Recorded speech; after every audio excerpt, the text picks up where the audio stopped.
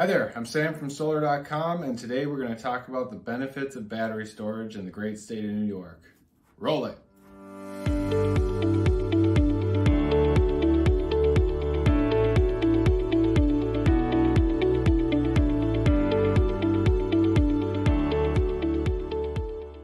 Home batteries are often seen as a novelty reserved for your tech-savvy neighbor with too much cash to burn.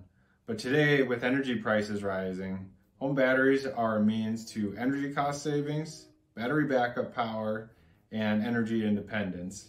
So today we're going to go through those three benefits and we'll also talk about some incentives that can help reduce the cost of buying battery storage. So let's dive right in with our first reason to buy battery storage in New York, energy cost savings.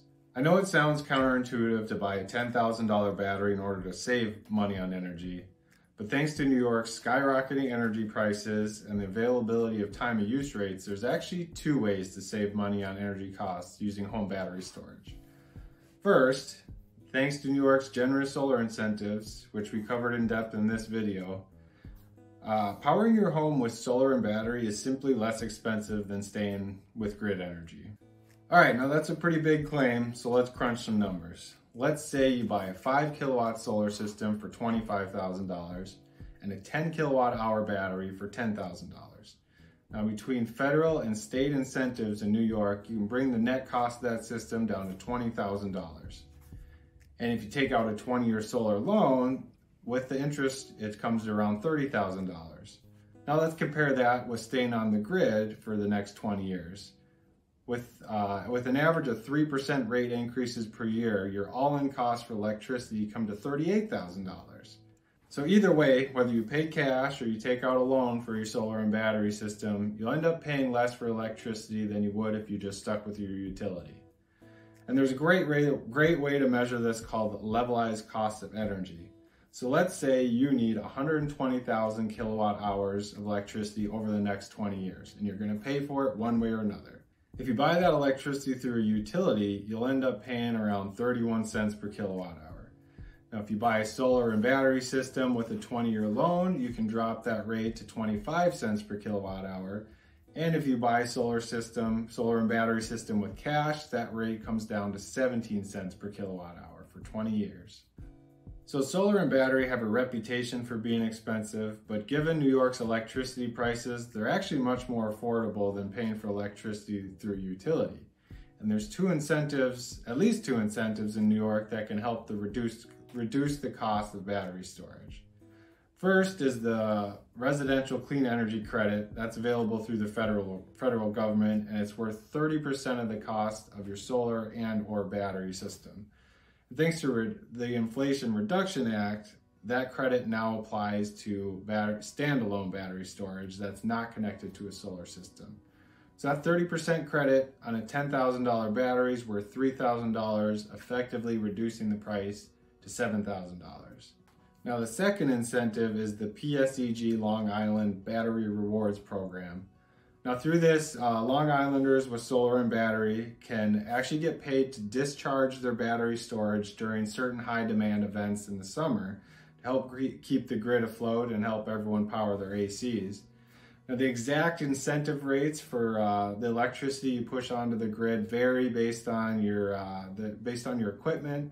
So I can't go too much further into detail here, but if you are on Long Island, it's a great program to look into to help reduce the cost of your battery storage. Now let's say you live in a place with lots of shade, as many New Yorkers do, and slapping solar panels on your roof just doesn't make sense. That's okay, there's still a way to reduce your energy costs using battery storage alone. And the world needs battery storage just as bad as it needs solar panels. So here's how it works. Now many utilities in New York, including Con Edison, National Grid, Orange and Rockland, uh, Central Valley Hudson, offer time of use rates plans. Now in time of use rates plans, your energy, the price of electricity varies throughout the day, uh, basically based on demand. So during peak hours, you're gonna pay one price, and during peak off-peak hours, you pay a different price for electricity. For example, here's a look at the structure of Con Edison's time use rates plan. In the summer, during off-peak hours, the rate for electricity delivery is 1.8 cents per kilowatt hour. And then during peak hours, it jumps to 25 and a half cents per kilowatt hour. The Con Edison time use plan also includes super peak hours between 2 p.m. and 6 p.m. on weekdays between June 1st and September 30th. Now these might as well be called super duper secret peak hours because I haven't been able to get anyone to tell me what exactly the price is. Uh, but on its website, Con Edison does mention that during super peak hours, electricity will be substantially more expensive than during peak and off-peak rates. Now, time of use rate plans are optional and they may not make sense for an average household that's cooking dinner and doing laundry and cranking the AC during peak and super peak hours. But with battery storage, you can soak up cheap electricity from the grid during off-peak hours and use it to offset the cost of more expensive electricity during peak and super peak hours.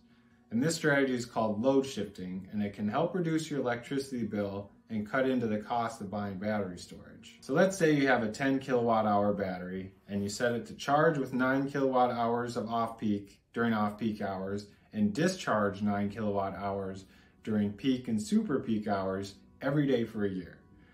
Now, given the Con Edison time use rate plan, you could save $330 in the summer months alone and another $200 during the off season for a total of $530 per year. Now, over the life of that battery, that adds up to thousands of dollars in energy cost savings. And although the battery probably won't pay for itself with uh, load shifting alone, it can really take a chunk out of the cost and help justify the biggest reason that people want battery storage, which is backup power. So thanks to a combination of extreme weather, fuel supply emergencies, and well, squirrels, New York ranked in the top 10 for both the number and the duration of power outages in 2020. In fact, it ranked in the top five for duration of power outages, even ahead of California. So with both frequent and long-lasting power outages, New Yorkers stand to gain quite a bit from having backup power for their refrigerator, hot water heater, lights, Wi-Fi. And during the winter, having battery backup to kick on your gas furnace can really be a game changer. And it's important to note that during power outages, if you have solar only, your system is likely going to shut off. And that's a safety feature that utilities do so you don't accidentally export energy onto the grid while repair workers are trying to repair it. So battery storage is crucial to having backup power during outages, and it's even better when it's paired with solar panels. In fact, the Lawrence Berkeley National Laboratory found that a small solar system paired with 10 kilowatt hours of battery storage can power the essential needs for most homes for at least three days. Now the other thing to consider is that power outages have increased 80% over the last 20 years and they're expected to be more frequent as time goes on. But with a little planning, New Yorkers can use solar and battery to stay safe, productive, and contribute to a more resilient energy grid. And that brings us to our third benefit of battery storage in New York, energy independence. Now, energy independence has kind of become this buzzword that means a few things depending who you ask. So let me give you a definition based on the context of solar and battery storage. Uh, as we mentioned earlier, electricity is an essential cost that you're going to pay throughout your life no matter what. And most people do that through a utility.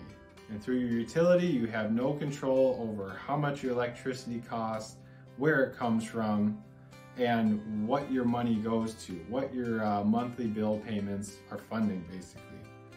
Now, if you use solar and battery storage, you can entirely flip that script. You control the production, you control transmission, you control storage, and you control consumption. And by tweaking how big your system is, uh, how you pay for it, you can control the cost of your own electricity. Now to me, energy independence isn't so much about getting off grid and going and living in the hills somewhere, although you can do that with solar and battery. Uh, it's more about taking back control of your essential electricity costs, and solar and battery allow you to do that. If you'd like to learn more about solar and battery storage in New York, uh, use the link in the description below, below to visit the solar.com Learning Center. Better yet, connect with one of our energy advisors to compare quotes from vetted installers in your area. I'm Sam from Solar.com. Please like and subscribe, and I will see you in the next video.